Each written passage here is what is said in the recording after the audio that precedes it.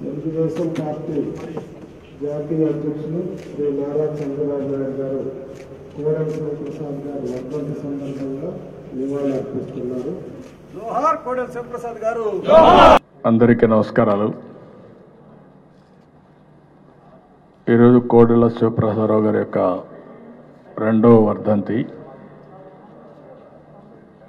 ఇది తలుచుకుంటే ఇప్పుడు కూడా మనస్సు కుదుటపడే పరిస్థితి లేదు.